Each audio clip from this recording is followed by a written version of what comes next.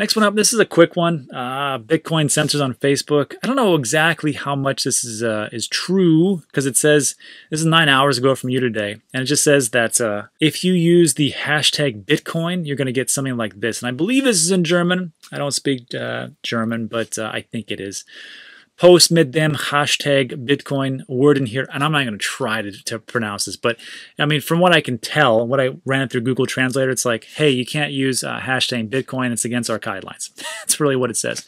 So which is a real shame because you can use hashtag Libra all day long and they don't do anything. But again, keeping our community safe. That's how it is in Germany. I, mean, I did it on, on my website. It seems to go through. But uh, again, you know how it works. Uh, they have to crawl and there's all these bots. So maybe they'll take it down. If it does, I'll post it on uh, over on YouTube on the community tab. But uh, so far, so good. So again, who knows how accurate it is. It's just interesting to talk about, but uh, we'll see. And last up, this one sucks. Uh, British grandma loses 65,000. And it's not that she lost it initially, but it's what happened afterwards. This is a bummer. So again, when people talk about like, how can you lose money? You know, how can you fall for this? Well, it's not just you. I mean, me and you are probably pretty savvy. We're not going to fall into this nonsense, right? But you have to understand there's a lot of people who are coming in have no idea what's going on. They know kind of what Bitcoin is and what it does, but you have to watch out for the most vulnerable, right? And those are senior citizens. And this is a perfect example. So this lady, I don't know her name, but she became uh, pretty interested in the idea after watching an episode of uh, BBC's Dragon's Den. I don't know what that is. Uh, if you're from uh, UK, let me know. The whole reason why she got into it is because she wanted to make a little money so she could send her grandkids to a private school. I mean, that's a sweet story, right?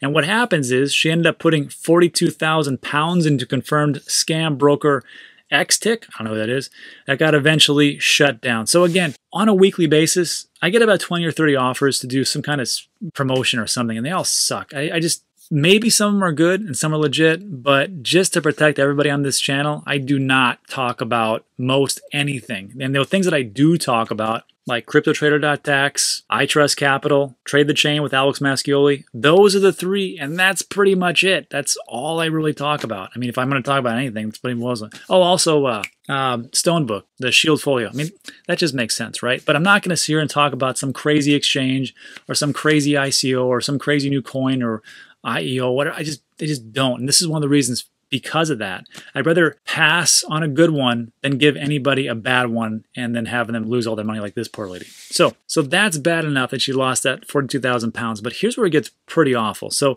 a fraudster pretending to be an investigative officer from Financial Conduct Authority or FCA contacted the woman a few months afterwards via email and swindled her into paying another 25,000 pounds under the premise of returning her initial loss. I mean, how dirty is that? Dirty, that's just awful.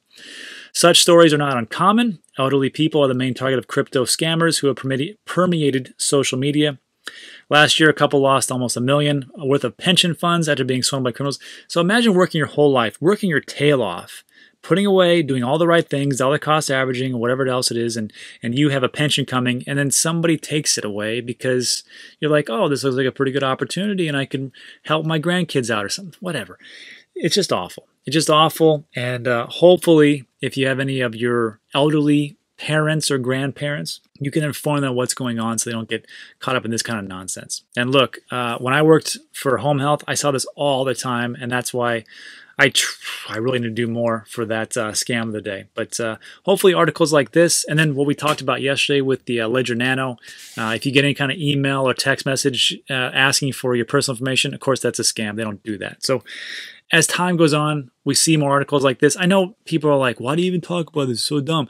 It's because we need to have people like you teach other people so they don't get scammed and then people can come into this uh, space and not get ripped off and they can say, oh, I, I would like to invest into Bitcoin or whatever it is. So anyhow, that's it for today. So thanks for sticking with me through the whole video. I really appreciate it. If you don't know, I got a second channel. It's called Digital Asset News Clips, and I made it for two reasons. One, because sometimes I get a little loquacious, I talk a little bit too much, and I want to break down all the clips. So you can go over there, sign up, and uh, you'll get notified of just the clips of these types of videos or if things just get a little bit too busy just find the clip that you want and then just uh, you know check that out the second reason is because if uh, youtube says hey we don't like digital asset news and they you know they bust me down and they uh, take away my channel i have a backup so uh, if you could just check that out every so often that'd be great and that's all i have for today so again Thanks for sticking with me. Enjoy the rest of your Sunday. I'll see you on the next.